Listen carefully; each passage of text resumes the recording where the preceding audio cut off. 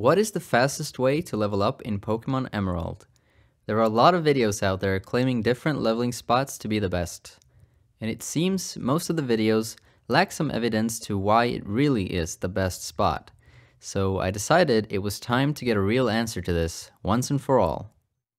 So back in the days when people played with Game Boys, you could link with a friend and get access to their secret base where you could fight their team.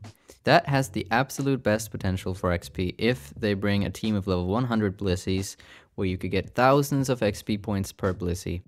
But I'm guessing 99% of you watching don't have that option, so I'm going to look away from that in this video.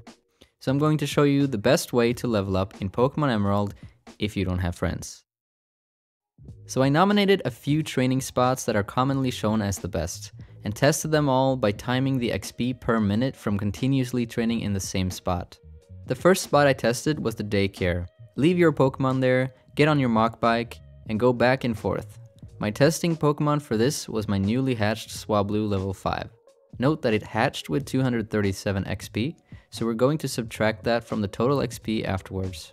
So I tried my best to bike around for 2 minutes, stopped the timer and took out my Swablu. It ended up having 1929 XP, take away those 237 and we have 1692 XP points over 2 minutes, giving us 846 XP points per minute. Now this is not exact as it's very hard to calculate precisely, but it shouldn't be too far off. Note that if you put two Pokemon at the same time, you would be getting 1692 XP per minute. Next, we have the interviewers Gabby and Ty that you can fight over and over again. After battling them a few times, their Exploud and Magneton will be level 39, and to maximize the XP here, you need to let your Pokemon earn all the XP alone. So to do that, you can use a Pokemon with Explosion that takes out everything, including itself. So I switched from my Swablu into a random weak Pokemon, giving Swablu all the XP after the explosion. This is giving us 2882 XP per battle, but the downside is they move after every battle, so you lose a lot of time going after them, and you would also need to heal your Pokemon in between. So to simulate that, I battled them 3 times to complete one cycle, as it takes different amounts of time for each location. I ended up with 8883 XP, so we take away those 237 and we end up with 8646 XP and it took me 6 minutes and 20 seconds, giving us 1365 XP per minute. The next spot I tried was the Victory Road. Using a Pokemon with Illuminate first in your party, you get a 100% increased chance of encountering a Pokemon. In this test, I used a fainted Volbeat, so my Metagross could take care of the battles. There are three different floors with different encounter pools in the Victory Road, where I calculated the average XP per battle in all the floors. The first floor has the least amount of XP per battle, but since you need to heal every now and then, it more or less makes up for the time it takes to get to the other floors. This was around 767 XP per battle. So I trained for 5 minutes and got 5366 minus 237, which is 5129 XP, divided with 5 minutes equals 1025 XP per minute. This would be 2050 if you don't share the XP. Now the final area, and maybe the most obvious one, is the Pokemon League. To get the maximum amount of XP per minute here, you would have to bring only one Pokemon, defeat all Pokemon in one hit, but then make sure to lose on purpose before defeating the champion, to avoid the long talking scene at the end. That way you get right back to the grind. And you actually shave off about one minute doing this but you will lose your money, so if you care about it, you can deposit it in your PC at your house in Littleroot Town. Now when training your Pokemon, you might not be able to do this, but there are alternative variations I will cover soon.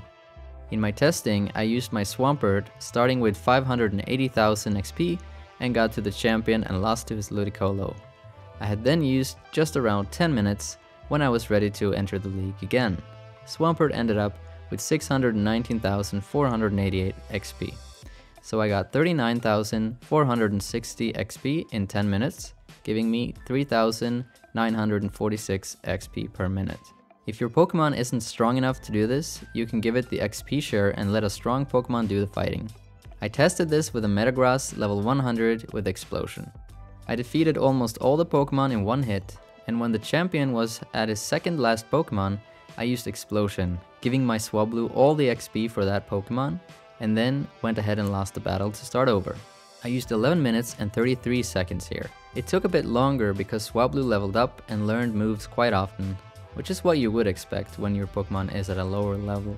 Swablu ended up with 24,481 XP, minus 237, and we're at 24,244, which gives us 2,108 XP per minute.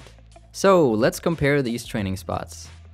So at best, the daycare gives you around 846 XP per minute for one, or 1692 for two Pokemon at the same time. The interviewers give you around 1365 XP per minute using the explosion tactic.